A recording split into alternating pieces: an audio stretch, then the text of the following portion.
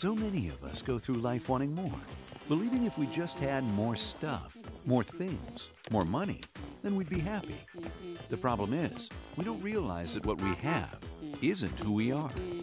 Instead of trying to get rich, we must realize that we already are rich. So, with God's help, it's time to be rich in what matters most. Good morning, church. God is good. Amen. And all the time? Wow. Wow, that is true. Excellent. What a good day. Man, it is cold up here right now because I am soaking wet again, and that is a good thing. Amen. And so let's preach wet every week if we can. That would be awesome. Because that is means God is at work in our church and He is transforming lives, which I'm excited about. Well, this this morning we are, are starting a brand new series. In case you haven't seen it as you come in, it's called Being Rich in What Matters Most. And so, as we start the series on being rich, a couple things I want to go over before we jump into being rich in what matters most. First of all, I just want to take a moment as a church and celebrate Wednesday night.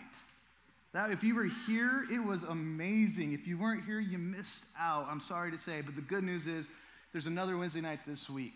We had about 185 people at dinner on Wednesday night. It's all free and fellowshipping in God's Word together and then going to Bible studies. It was just an amazing night on Wednesday night. If you're here, say amen. Amen. amen. So we want to invite everyone to come this Wednesday night. If you've got friends or families or neighbors who are just looking for a good time and free food, come on down on Wednesday night and uh, just fellowship with us. Also, um, uh, let me read my notes here. I can't read my own handwriting. That's pretty sad. Oh, yeah, you may have noticed today as you came in, there was a bulletin that was handed out.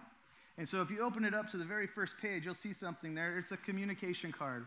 If you're a guest with us today, we ask that you take a moment, just fill that out. Later at the end of our service, we're going to pass an offering plate. If you'll just drop this card, we'd love to connect with you and get you some more information about our church. That just rips right off. So you could just rip that right off, fill it out, and put it in the offering plate later in our service. On the back of it, if you have any prayer requests, please feel free to share your prayer requests. Our staff meets every morning at 10 a.m. to pray over the prayer requests of the church. And so we'd love to pray for you as well. Also, on the next page is notes for the sermon. So if you'd like to follow along, please do so as well. If you uh, use an electronic version of the Bible or electronic device, you can actually download the Bible app and go to events on the Bible app, and you'll have this on the Bible app as well, and you can walk right through our notes on the Bible app. Um, so today, we're going to be jumping into being rich in what matters most in life. And we're going to be coming out of 1 Timothy chapter 6. But I got a couple of questions before we jump into that. Um, how many of you, by a show of hands, how many of you, when you were kids, younger, dreamed and hoped about being rich when you grew up? Let's be honest. How many of you are dreaming about that right now? Okay, let's, that's good. That's good. Um, I hope you someday you do become rich. The, uh, when I was a kid, I went to school and I got invited to a birthday party when I was in elementary school. And I went to this birthday party and it was pretty awesome. They had an indoor swimming pool. And I thought to myself, wow, this is what it's like to be rich. You got an indoor swimming pool. Today, as an adult, I think, why do you need an indoor swimming pool in Phoenix? That just doesn't make sense. But they did when I was a kid, and I thought to myself, this is what it's like to be rich. You see something, and your mind gets programmed, and this is what rich is. So, okay, so with that in mind, we all would like, we, all, we can all admit at some point we've dreamed about what we would do if we are rich. Okay, second question do you know somebody that's rich? Do you know somebody that's rich? Let's go ahead, point to them right. Just kidding, don't point to them. That would be awkward. That would be awkward. Do you know somebody that's rich? Have you seen them live their life richly? And have you maybe secretly, if we can be honest, let's just be honest right now, let's be transparent because we're family, right? Thought, wow, they're rich, but if I had their money, I'd be better at being rich. I'd spend it different. I wouldn't waste it like that. I'd spend it like this. How many of us, if we're honest, let's just be honest. I'm not alone, am I? Okay, here we go. Okay, got to look at Pastor. He's got an evil heart. All right. Um, so, okay, so I got one more question, and let's be completely honest. How many of you in here, by a show of hands, are absolutely filthy, mega rich right now? Anybody? Right here? We need to pass the offering plate in this section a couple of times today. All right, right over here filthy, mega rich right now. The truth is, a lot of people are very, very rich and they don't even know it. They don't even know it. And I'm not even talking, it's very easy as a pastor to get spiritual on this and go, you know, they've got God in their life, they've got salvation, which is true, and that we're very rich in that. Family and friends. We're very, no, I'm talking about money. Can we just talk about money? Say money. money. There's a lot of people who are very, very rich money wise and don't even know it. And I think that is because we don't understand what rich is. In fact, when we think about rich, we think about it in terms of our life. When I first got married 16 and a half years ago, we had no kids. And I thought to myself, if we could just make thirty to thirty-five thousand dollars, we would be rich, right? Like that, we would be. We'd have spending money, we'd have cars, we'd have houses. Like that's pretty immature of a, a young person who got married, but that's how I thought. And so then a kid came, and then another kid came, and then another kid came, and I realized, wow, $35,000. If we could just have like $35 million, we'd be rich, right? so, but the truth is, when we think about being rich, none of us wake up one day on payday and go, wow, oh my gosh, today is the day. Yesterday I wasn't, but now that I got this paycheck, I have crossed the line and now I am rich. Woohoo! Right? Like I can afford anything. I, that doesn't happen.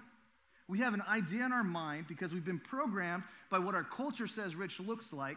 And we have an idea in our mind, but then when we get to that place, we realize this isn't even close to being rich. And so the line moves. And then when you get to the next line, the line moves again. So the idea of being rich is a moving target. it's a moving target. We don't ever actually achieve it because when you land there, you wake up the next morning and you don't feel rich. And so, as we take a look at this, I think the reason is we've been programmed to think that rich is something that it's not. That we've bought into lies that our culture has told us that rich is something that is absolutely vacant of truth and it looks like something that is a complete lie. So I've done my best in research to try and portray when we begin to get programmed, usually as starts as children, by what culture says what rich looks like. So I've tried to hit every generation. So I've got some pictures. Let's see if you guys recognize this. I believe this was the beginning of some of our programming of what rich looks like. So let's take a look here. Does anybody recognize this picture? Richie Rich. If you do, you're showing your age, right? Richie Rich was a comic strip back when I don't know, before I was alive. Um, but it, was a cartoon when I was a kid. It was about this little rich kid. And this is what being rich kind of programs into our mind. Mom tells us we can have whatever we want. We've got a maid and a butler with some kind of strawberry root beer float. I don't know. But it says all taken care of. That's what our idea, like if I could live like this on a, on a, a chair by the beach and have somebody bring me drinks all day long, that's being rich, right? So for my generation, I grew up in the 80s. This is what the picture of being rich was. Some, tell me if you recognize this. There it is. Silver Spoons. Ricky Schroder when he was a little kid. Anybody remember this show? Okay, this is my generation's idea of being rich. This kid had an arcade in his house. Not video game systems. The, the, generation, the generation of today, they don't understand what a real arcade is. Like this kid had a real arcade, the arcade games and everything. You can go in there and play Donkey Kong Jr. and Pac-Man and Ms. Pac-Man. He had in his house, and that was our idea of like, that's what it looks like to be rich, to be able to do and buy whatever you want. Well, another generation, the 90s hits, and this is maybe what it looks like. Some of you guys may recognize this picture. Scrooge McDuck and DuckTales. And he gave us a picture of having a vault that was bigger than his house that he would go in every day, put a swimsuit on, and swim through the gold, right? That's what being rich looked like in the early 90s, right? And so, but here, uh, here's one that, that, that surpasses all generations. We all recognize this one. Take a look at this. What's that? Monopoly Man, right? And here's the deal this is the picture of American richness. Like, let's get as much fun, money as we can, run as fast as we can, take the money and run and get more, right? And in America, we've learned a valuable lesson, though, because a lot of the times, if this is how you live life, then this is how you end up, right? right? And so you get to go to jail because you took somebody else's money. And we've seen that in the history of America. But as we look at all of this, I've realized we've been programmed to think rich is a certain thing or a certain achievement. And the world programs us to think that rich is based on the things that we don't have, right? So as we continue to take a look at this, my desire over the next five weeks as we go through this series, my desire is for us as a church and as individuals to wake up one morning during the next five weeks and realize we've crossed the rich line. Like for us to wake up one morning and go, hold on, I am rich. I'm rich. So, what we're going to do, I think, is we have to actually ignore the lies of culture and actually determine what rich really looks like. But to do that, we have to go to God's word. So that's our desire. We're going to be in 1 Timothy chapter 6, verses 17 through 19. If you are um, using one of the Bibles in the, in the seat in front of you, it's actually on page 187 in the upper right hand corner. You can open that Bible right up to one, page 187, and it's going to start in the very first line in the upper right hand corner. Will you stand with us as we look at God's word this morning? Verse 17. This is what it says. Here we go. Command those who are rich in this present world not to be arrogant, nor to put their hope in wealth, which is so uncertain, but to put their hope in God, who richly provides us with everything for our enjoyment. Command them to do good, to be rich in good deeds, and to be generous and willing to share. In this way, they will lay up treasure for themselves as a firm foundation for the coming age, so that they may take hold of the life that is truly life. Let's pray. Heavenly Father God, we come to you right now. We know you're in this place. We know your spirit's here, God. So we pray as we look at your word, God, that it becomes a mirror to our heart to show us a reflection of, the, of your word. That you're able to, to set a seed in our heart to grow in your word and to show us truth today. In your name we pray. Amen. Amen. You may be seated. So, as we look at the word of God here, I love this passage in 1 Timothy. What we need to know this is the Apostle Paul, the guy who wrote most of the New Testament. He's writing a letter to a guy named Timothy. Timothy was his protege. He was a guy that Paul trained up as he started as a kid and trained him up to become a pastor of a church. So he's writing the letter of Timothy to Timothy to encourage him on how to be a pastor of this church that Paul has left him at. And these are some of the final words that Paul is telling to Timothy. He's saying, Hey, tell those who are, what's the word? Rich. Everybody say rich. Tell those who are rich. So we know right away that Timothy had some rich people in his church, right? Timothy had some rich people in his church. So Paul is telling them, and he says, Do not be arrogant. Everybody say arrogant. Do not be arrogant. So Paul's telling Timothy, Hey, tell those rich people, you know who they are, don't be arrogant. This is what arrogance looks like when you're rich. You may have worked hard all of your life. You may have put in the hours even when you were sick. You may have invested wisely. You may have done everything right, and today you set rich. And arrogance comes into play when you take credit for it. Because the truth is, God's the one who placed you into this life, and He's blessed you with all of those things. When God is in control of life, the truth is, every single one of us, God has ordained to live in America, the freest country on earth. That's not our choice, is it? We can't take credit for that. God has given us the life that we have based on the choices, the choices we make. He has directed us. And the arrogance of our life is when we are doing so well, we think that God has nothing to do with it, that I've achieved it myself. And we ignore the blessings that God has given us through our life to direct us to this point. That's arrogance. Paul's telling Timothy, tell those rich people not to think they got there by themselves to realize my hand has been the one that's at work, that's directed them there. So that's what arrogance looks like for all of us, whether it's relationships, finances, work. Arrogance is when we don't give praise to God for the blessings that He has given us. Any blessing that we have from God that we do not turn back to praise becomes arrogance and pride. Anything that we have that is good, because the word tells us all good things come from God, anything that we have that is good that we take full credit for is arrogance and pride. When we don't turn around and give God the praise and the thanks for what he has blessed us with, that is arrogance and pride. So we know, first of all, Paul's telling him, tell those rich people, don't be arrogant. Nor to put their hope in what? What is it? Wealth. Everybody say wealth. Rich people, don't be arrogant and don't put your hope in wealth. So where should we put our hope? He says, put your hope in God who richly provides us with everything. Say everything. For our enjoyment.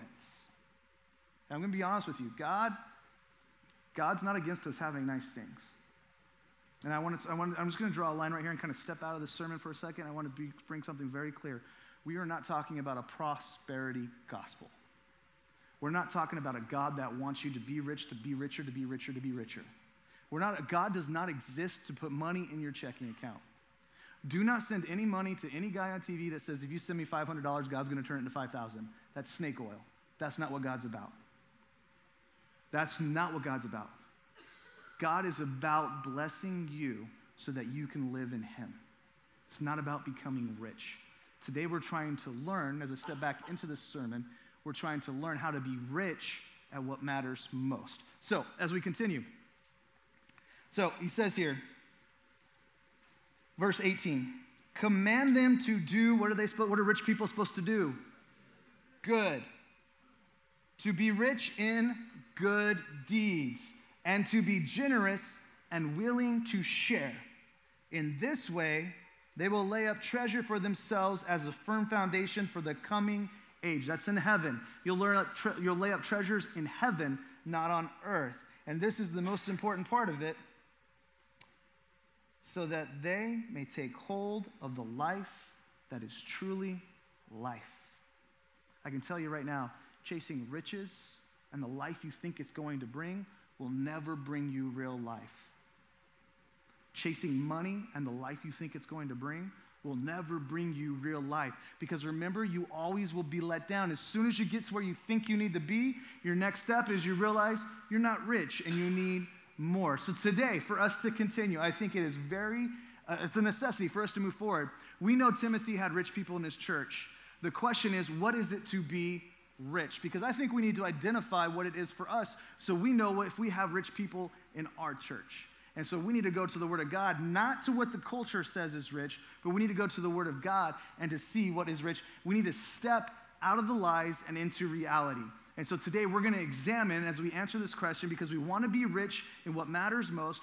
Who is rich among us? So let's take a look at this just out of um, reality. Let's do a reality check here. Gallup, uh, it's, a, it's a polling agency, they do a lot of research. They sat down and they polled a bunch of Americans who make about $30,000. And there's many of us today here who make about $30,000. And they ask the people who make $30,000, what would it take for you to consider yourself rich? What kind of income would you need to be rich? And you know what people who said that the overwhelming average of people who made $30,000? If we could make $54,000, we'd be rich. Okay? That's almost double what they were making. So Gallup said, well, let's go to the next step. Let's ask people who make 50,000 because I guarantee if you make $54,000 in here right now, I don't want to know, but if you do, you could sit, you want to sit down with the $30,000 people go, "No, we're not rich. Trust me. Like we're the farthest thing from rich." So they asked the $50,000 people, "If you make $50,000, what does it take for you to be rich?" And the common response was $100,000. If we were $100,000 in income every year, we'd be rich. We'd have the houses. We call this this is an American achievement. We call this the six-figure income. Like even in America, we realize if we hit a six figure income, then we're doing well. And so $50,000 people said if we can make 100,000, we'd be rich. So Gallup went to the, another section of people and said, all right, those of you that make $200,000, those of you that make $200,000, what would it take for you to be rich? If we made, a lot of us in this room, if we made $200,000, we would be okay with that, right? We'd be like, I'm doing well. So they asked the $200,000 people, said, what would it take for you to be rich? And you know what they said? $5 million. And all of us go, duh, like that's a stupid, that's a, that's a stupid question. Of course, if anybody in here had $5 million, we'd be well, right? And so this is what happens. This is the chasing. These are the lies. And the truth is the $54,000 person wants to say, no, no, 30,000, we're not rich. And the $100,000 person wants to tell the $54,000 person, no, no, we're not rich. We're not rich. That's not what rich looks like. And so, if we understand the challenge for this is we don't feel rich. We can try, if we don't feel rich, we can try, we continue to try and get rich. Because when we hit each level, we try to get richer and richer and richer. And then one day we actually pass the rich line and we never know it and we're living like we're broke. Right now, if you sit down with somebody who makes $200,000 and ask them if they're rich, you'll probably say no. Why not? Because those people over there, look what they've got. They're rich. I don't have that. I don't have that. I don't have that kind of house. I don't have that kind of car. I'm not rich. I only make $200,000. They've passed the line and didn't even know it. So, let's take a look at what being rich actually is as we, we dive into this. And um, we need to reprogram. And so, let's start with some good news and some bad news today. Good news and bad news. Now, I know there's different types of people who like the good news first and the bad news first. So, who likes, who likes good news first? Okay. Who likes bad news first? All right, more people. That's weird. His first service was the same way. The bad news people like to go first. Well, unfortunately, I wrote the notes good news first, so that's how we're going to do it. Um, good news first. Now, here's the deal with this good news I'm going to share with you probably the best news you've heard in a long time. This is really good news. And if you truly begin to believe it, not only will this be the, some of the best news you've ever had in your life, this will transform your life. It will change the way you live. It will change your heart and transform your heart. It will change the way that you walk through the office. It will change everything about you if you actually believe this good news. I believe this good news to be 100% true. So here is the good news. Are you guys ready? You want some good news? Say yes. yes. Here's the good news you are rich. You're rich, and you're rich, and you're rich, and you're rich. We are all rich. And then everybody goes, You have not seen my checking account, right? No, no, no. You are rich. And we're going to kind of talk through this a little bit so that we can understand not by what culture says is rich by money, but what we understand is rich. And this is how I know you're rich. You guys ready? You have rich people opportunities. You have rich people opportunities. You have children, you get to choose what kind of education they have. You've got a library you can take them to. You've got a smartphone with internet anywhere you go. You can play Pokemon on top of a mountain. You're rich. You are rich. You've got opportunities that the rest of the world does not have. I'm not talking about whether you have a bank account full of a million dollars or it's $30 in the negative right now. I'm not talking about money. I'm talking about the fact that you're rich because you have rich people opportunities. And you push back, you go, that may be true, but you don't see the bills that I have, you know, this and that and this. I'm gonna, we're just going to pull some reality out right now, okay? You guys ready? If you make $33,000 a year, $33,000 a year, if your home brings in $33,000 a year, you make more than 99% of the world. You are the 1%. Think about that. You are the 1%, $33,000 a year. So that's, uh, there's, there's many of us in here that make $33,000. For some of us that make a little bit more. So I want to just kind of throw this out there even more. If your family brings home $80,000 a year, $80,000 a year, if your family brings home $80,000 a year, you are in the one tenth percentile. You are 0.1% you make more money, your family has more money than 99.9% of the rest of the world. Let's start to bring rich into reality. It's not about what you don't have that the neighbors have. What do you already have that God has blessed you with? Being rich in what matters most. This blows my mind. $80,000, you are a point one, one tenth of a percent more than the rest of the world. And I want to be very careful right here, and I want to be very sensitive because there's many of us who have had doctor's bills and health bills that have been racked up by things that we didn't expect. So there's a huge debt there that we feel like we may never get under. Some of us have been laid off from work, and finances are a struggle right now. We have issues in our life where finances is a challenge. I get that, and I'm sensitive to that. I'm not talking about that. What I want us to do is kind of pull the curtains back a little bit and really look at the truth of rich that even in our struggles and even in the hard times, we are rich. And so if we look at the rest of the world, half of the world, let's say 3 billion people. 3 billion people, this is how they, they would say, if, if I were to ask you, how do, how do you, what is somebody that's rich, what does it look like? You'd give me a description. If you were to go to half the world and say, what does it look like for somebody to be rich? It's a very simple answer. You know what it is?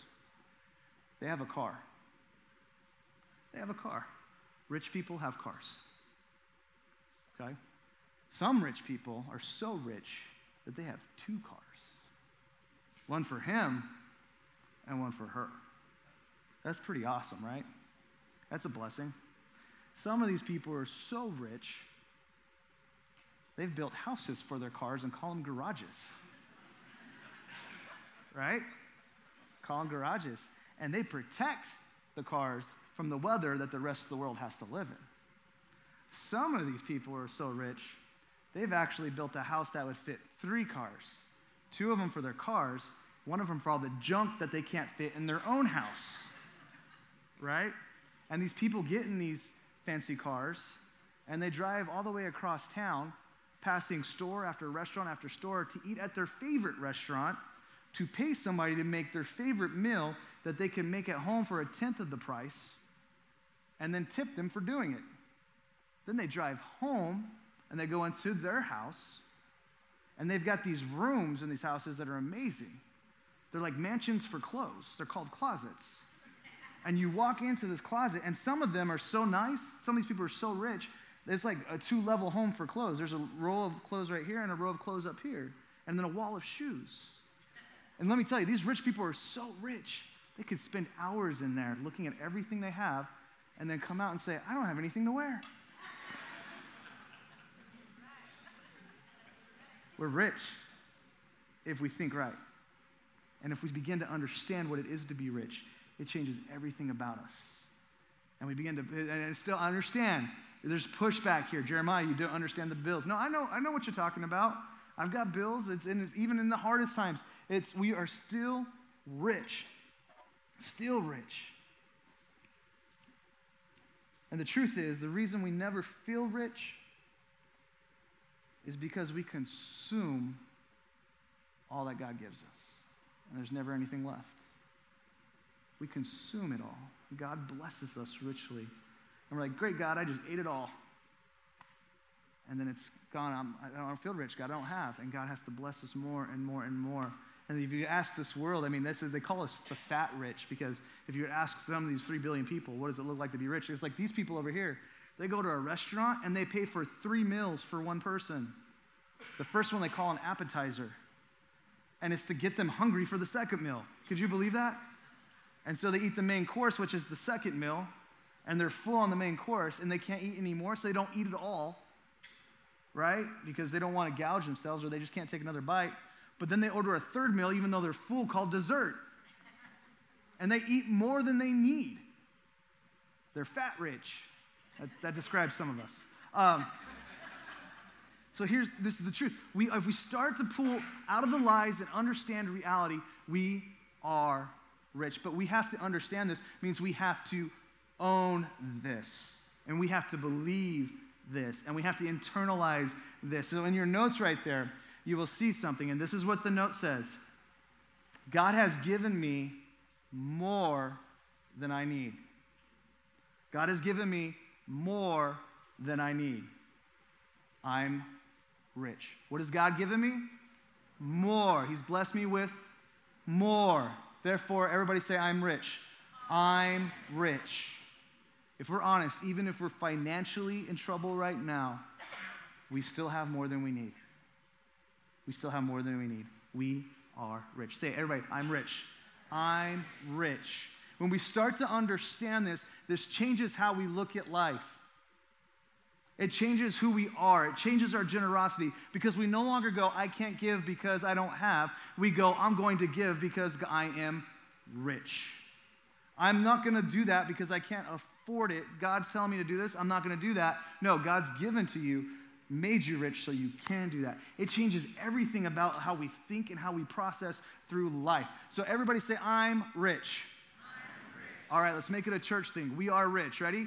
We are rich. And when our church starts to live like we are rich, we will change the community and the city and the world around us because that's what rich people who live richly do. They invest in the world around them. We invest in our communities, in our schools, in our homes so that people around us can come to know God. That's what being rich is all about. So, I told you earlier I told you earlier, we're going to do good news and bad news. The good news is you're rich. Congratulations, so am I. And it feels good. The bad news, and this is really bad news. This is really, this may be the worst news you could hear spiritually.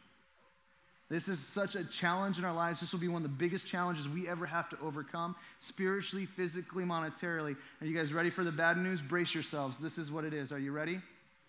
The bad news is you're rich. You're rich. Because I know you're rich because you have rich people opportunities. The bad, pro- the b- bad news is because you're rich, you now have rich people problems. And I'm going to talk specifically about spiritual problems. And here's what it comes down to. There's three things I want to point out. There's many problems that come, but there's three that I want to point out today. The very first one is if you're rich, it's harder for you to depend on God. It's harder for you to depend on God. We are the 1% of the world. It's harder for us to depend on God. You know why? Because we don't have to. When Jesus taught us how to pray in, in Matthew, he said, Give us this day our daily bread. Jesus says, Ask every day for God to provide for you. Most of us have never been in a situation where we needed God to provide for us that day or we weren't going to eat. There's not a need for the dependency there. And we are blessed, we are rich, we are doing well. And the truth is, even when times are tough, there's still things other than God that we can depend on that are easier to depend on. And you can depend on the government because they could bring you a food box or they can give you food stamps. The government's there to help. And so we depend on the government. You may be depending on family. If you get in a hard time, family's always there for you to help. So your first instinct is to go to family instead of God. When we have rich people, when we're rich and we have rich people problems, it's harder for us to depend on God. In my home, it's in ramen do we trust. Whenever times get tough, we always got ramen, right? So it's not a hard thing. So for us to be in a situation where we have to completely depend on God is a rarity for us in America. I was talking to my dad this week, and he was telling me about one of the mission trips he took to Africa. And he met this young guy who had traveled two days to be at the conference he was at. The first day, he walked all day to get to a bus so he could ride a bus all day to get to the conference. And my dad's talking to him, and he says, What do you do for a living? And this guy says, Well, I'm a peasant.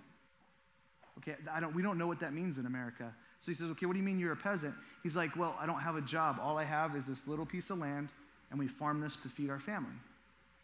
Okay, what do you mean? He's like, Well, how big is it? It's, it's about half an acre, and we were able to grow just enough to feed our family. And my dad said something in that moment that, that sat with me all week. He said, I realized in that moment, in Tanzania, in the middle of Africa, talking to this young man, I have more put money in my pocket than he will ever see in his life.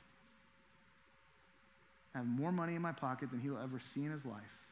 And this guy knows what it is to depend on God. This guy knows what it is. He was so hungry to grow in what God had for him, he walked for a day and then rode a bus for a day to get to this conference to learn more about God. And it's interesting, we get jealous. Honestly, if we go to a third world country or a developing country and we see people who are completely dependent on God, the Christianity in us, the spirituality in us gets jealous like, how are you able to do that? Because there's no other option for them. When we're rich people, we got rich people opportunities, which means that we don't have to depend on God as much. So it's a struggle for us to truly get our knees and trust God. Our second issue that we, we have a problem with is it distracts us from our true priorities. Rich people problems distract us from our true priorities. Being rich distracts us from our true priorities. Now, I'm going to say some things here that are going to sting a little bit because they sting me. And so here's the deal rich people have problems that distract them from their own priorities. As believers and Christians in Christ, every single one of us in here could agree that one of the biggest priorities we have as believers is that we come together to worship and to praise God together and to fellowship together. What we do right now in this hour on Sunday mornings is a top priority. If you believe that, say amen. Amen. amen. The problem is we have rich people opportunities, which means that a lot of us only make it once a month because we have money to do other things. Our richness robs us from our true priorities. This is going to sting. I'm going to just be honest with you. Many of us have money to go spend three Sundays on, on the lake on our boat every month. And the blessings that God has given us has robbed us from the priorities that we need to have as Christians. This, this runs deep with me. This runs deep with me. Many of us have the ability to go up to the cabin or go to fishing or go hunting, or this is going to hurt buy Cardinal season tickets. And the priority changes. And I'm guilty of that. Guilty of that. Rich person opportunity, something that I enjoy, that God's given to me enjoy, I've let overrun the true priorities. Let's apply this to your house. We got so many rich opportunities in our homes for our families and for our kids, running them to music rehearsals, to practices, to sports, to, to, to uh, lessons, to tutoring. And all of a sudden, we get to Friday and realize we haven't had dinner with our family one night this week. All the stuff that's a blessing that we can afford for our families to do has robbed us of the one priority, and that's being our family together in our homes. Rich people opportunities make it hard for us to be real to the priorities that we should have in our homes and in our walks. The third one, and this one may be a little bit harder because it might hit your wallet. Do you have a greater responsibility as a Christian once you realize you're rich. You have a greater responsibility as a Christian once you realize you're rich. Let's go back and let's see what, what it said here in 1 Timothy. You ready? Verse 18 Command them, who are we talking about? The rich people. And the rich people are you and me, right? Command them to do what? Oh, man. Some of us, we're like, we're still dealing with the Cardinals tickets, aren't we? All right. Let's catch up. I'm telling you, I've struggled with this all week. Some of them, okay, command them to do good, not to get richer. Command them to do good and to be rich in good deeds. And then to what? Share. Here's the truth. Remember, I talked about we don't ever feel rich because we consume everything? God never designed it that way. God designed us to be able to be rich so that we can have enjoyment and things that we like. Remember, God wants us to have things, He wants us to do, enjoy things. But when we consume it, it becomes arrogance. God gives us richness and enjoyment so that we can be doing good works and good deeds to share with those who don't know Christ so that they can come to know Christ. Because when rich people are good at being rich, at what matters most, they change the world. That's what we're called to do. And so this is hard for us to understand. You see, in the New Testament, in, in the book of Mark, there's a young guy who comes to Jesus and he's rich. In fact, he's a ruler. And he's got a lot of power and he's got a lot of money. And he tells Jesus, ask Jesus, he goes, I know you're God and I know that you have eternal life. So what do I need to do to get it? And Jesus looks at him and says, ah, you know, you're not really serious. You know what? Just follow the Ten Commandments. And this rich guy goes, no, no, I've been doing that all my life. I know there is more. And Jesus says, okay. And it says in Mark, it tells us Jesus looked at him with love and said, this is the only place in the Bible this is ever said. This is the only story that addresses this. And Jesus says, Go sell everything you have and give it away. Go sell everything you have and give it away. And the rich young guy looked at him, knowing that Jesus had eternal life. And scripture tells us he walked away sad because his things were more important. His wealth was more important. See, Jesus addressed a heart issue in this young man that we need to understand in our lives. I don't believe he's asking us to go and get, sell everything and give it all away. What he's telling us is, I don't have a problem with you having things that you enjoy. In fact, I'm going to give you things for you to enjoy. What I have a problem with is when the things have you. And when those come between you and God, when the things of this earth have such a grip on you that you're unwilling to turn to God, that's a problem. And then he goes on to say this listen. Luke 18 says this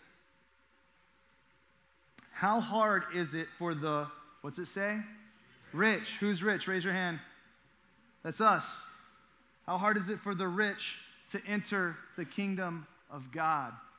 The blessings that he gives us can become a curse if we don't turn it back into praise. Remember? How hard is it for the rich to enter the kingdom of God? Indeed, it is easier for a camel to go through the eye of a needle than for someone who is rich to enter the kingdom of God. And that is because our things and the blessings that we have become arrogant about and we don't give thanks to God for has become between us and God. And so I tell you, I get excited about this message because I dream about what a church looks, at, looks like that's unleashed when they realize they're rich. I dream about what it would look like for us at South Peoria to live like we're rich, to be rich at what matters most. And this says, so that we could grasp life that is truly life and bring that to the world and bring that to the world. It's, it's exciting to me to think what our families look like if they live like they're rich. This excites me to think about what our church looks like and how we can change the world. Because if we live like we're rich, finances are no longer chains, are they? Because who's the one that gives us the richness? It's a gift from God. It's what Ecclesiastes says with Solomon. Check this out. This is awesome. Solomon says this Moreover, when God gives someone wealth and possessions, because God's the one that gives it, and the ability to enjoy them. Do you hear that? He gives you the gift and gives you the ability to enjoy it because you should not be ashamed for what God gives you. When He gives you the gift and the ability to enjoy it, it's a gift from God. And that gift is for you to enjoy and to turn around and to bless others. And we can unleash this power in our church if we learn what being rich really is and we learn what it is to be rich in what matters most. Let's pray. Heavenly Father, God, we come to you right now. We've dealt with some heavy issues, and anytime we talk about money, it can get a little sticky. We talked about heart issues, God, and we've talked about the truth of realizing what it is to be rich and to realign priorities with you. What it means for us to be a Christian and what it means for us to realize what it is to be rich. So, God, I pray right now as we come into your house today that we, we take what's been shown in your word, we apply it to our lives, we apply it to our heart. God, and we give your permission to examine our hearts. We give you permission to examine our hearts and to show us the things that need to change. So, these next few moments, God, may this bring honor and glory to you. As we continue to pray this morning with every head bowed and every eye closed. I've got a couple questions I just want to ask here, just real quick. If you're here this morning and you're struggling with the idea, even the concept based on what we've talked about this morning, that you are rich, that that is something that you're not ready or you're not able or you're not, you're just having a hard time struggling with that, and you want to be able to know what it is to be rich, I want to be able to pray for you that God reveals that, and not just with richness in your life, but that you become good at what matters most. So if, if you need prayer for that, if you want to be able to break those chains in understanding what rich is, will you, nobody's looking around right now, will you raise your hand so I can pray for you? If you're here this morning, thank you. I see you. Thank you.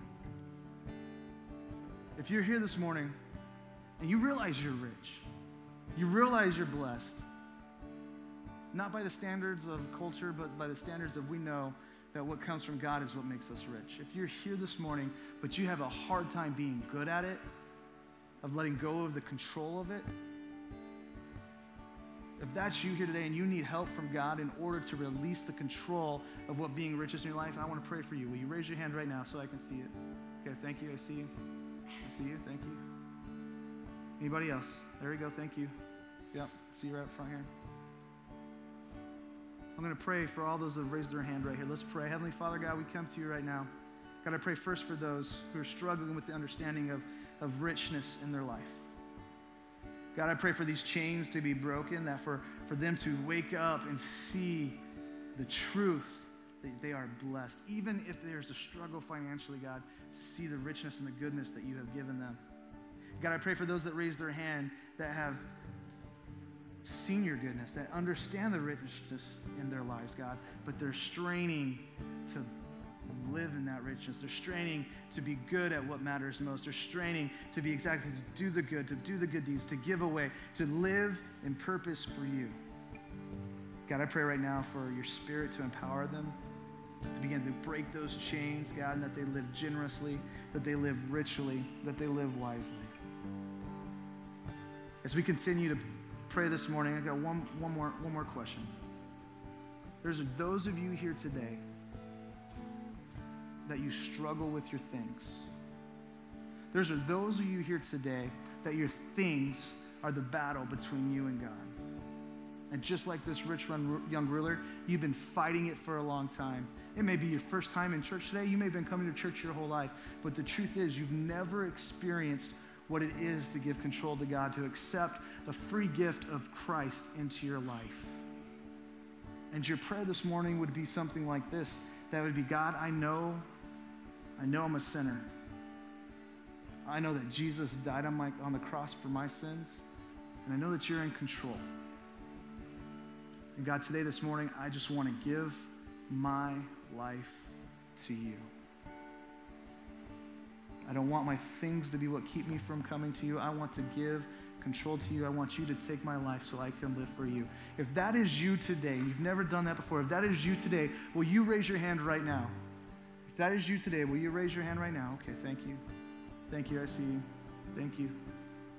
Anybody else? I see you. Thank you. Anybody else? See you right here. Thank you. Thank you. If you raised your hand, do me. Nobody's looking around. If you raise your hand, look at me right now. Just those who raised your hand, look at me right now. Look at me right now. You raised your hand this morning, I want to tell you something.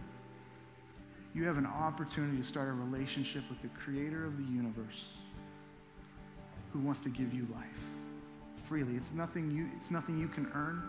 It's just a free gift because God loves us.